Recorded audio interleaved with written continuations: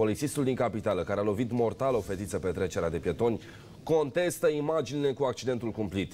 Mai mult, fără motiv, agentul nici măcar nu s-a prezentat la audieri. Roxana Ciucă vine cu detalii despre acest caz. Te ascultăm, Roxana.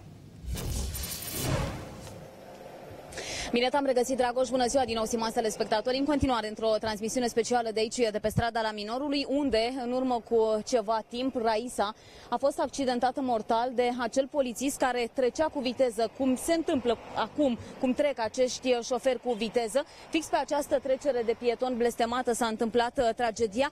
De aici, doamnelor, domnilor, Raisa a fost aruncată undeva la aproximativ 20 de metri. Întreaga scenă a fost uh, filmată de camerele de supraveghere care sunt amplasate pe stâlpul pe care care dumneavoastră îl vedeți în aceste clipe în imagini, este o cameră de supraveghere rotativă.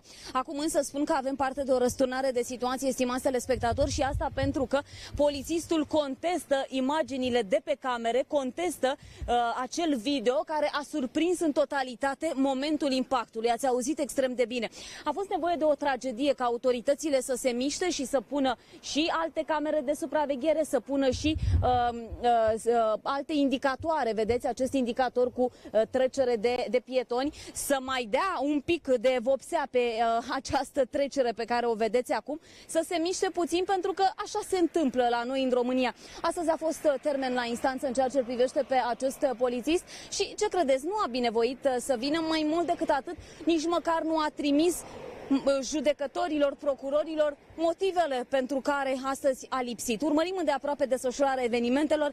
Raisa, stimați telespectatori, este în mormânt. Nimeni nu o mai poate aduce înapoi. A rămas uh, suferința părinților, o suferință uh, ce nu va fi ștearsă niciodată din suflet. Iar Marina, prietena Raisei, care traversa cu ea pe această trecere, este în continuare în recuperare. Merge la psiholog și încearcă să-și vadă liniștită de viață alături de familia sa.